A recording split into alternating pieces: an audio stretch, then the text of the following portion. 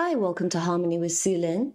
In this tutorial, I'll show you how to add a simple drop-down shadow to your character that follows along with your animation to give a sense of depth and position in their environment. The asset you'll need is a character animation or a single drawing of a character. So let's start.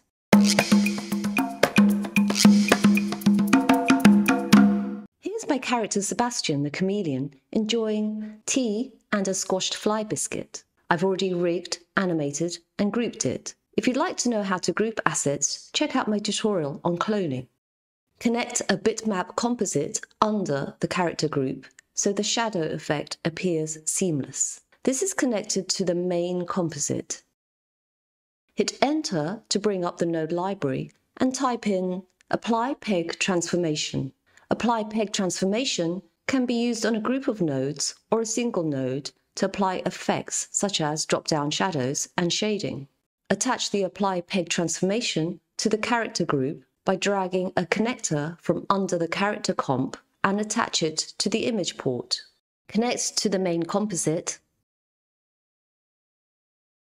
Next, add a quad map node. The quad map node is used in place of a peg. I'll demonstrate why I've used this later. Hit enter for the node library and let's add a shadow node under the apply peg transformation. The shadow effect converts the drawing layer or image it is connected to into a dark blurry matte. Move the connector so the shadow falls behind the character in the layer order. Now let's select the quad map and reveal the manipulators by selecting Show Control. They look like orange rail tracks over here.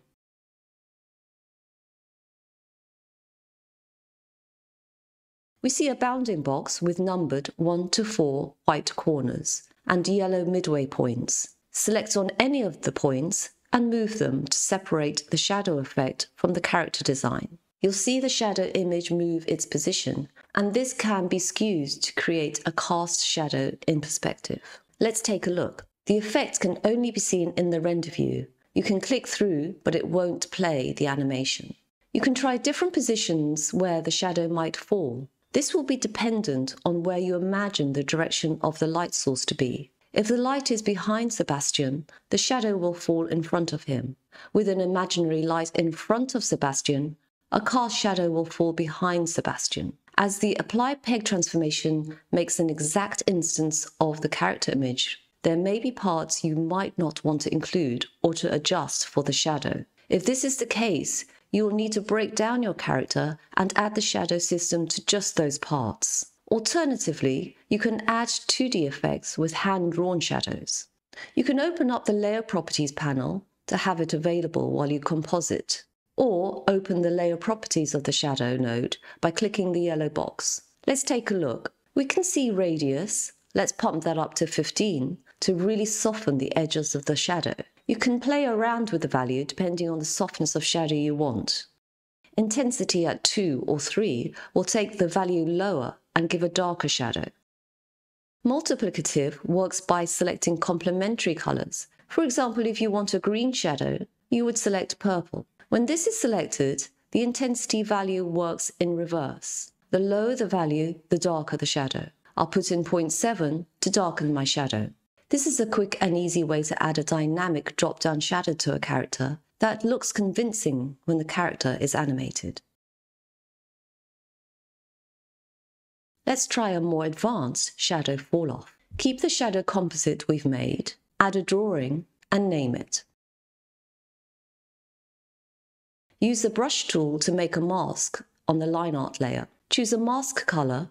I've made one here. When a character casts a shadow, the head is usually furthest away from the feet, where the shadow connects. So let's add the fall-off mask here. Draw a circular shape around the head with a brush. Don't forget to extend the drawing exposure for the duration of the animation. Don't worry about how it looks. It won't be visible in the render. Add a peg to the fall-off and set the rotation point.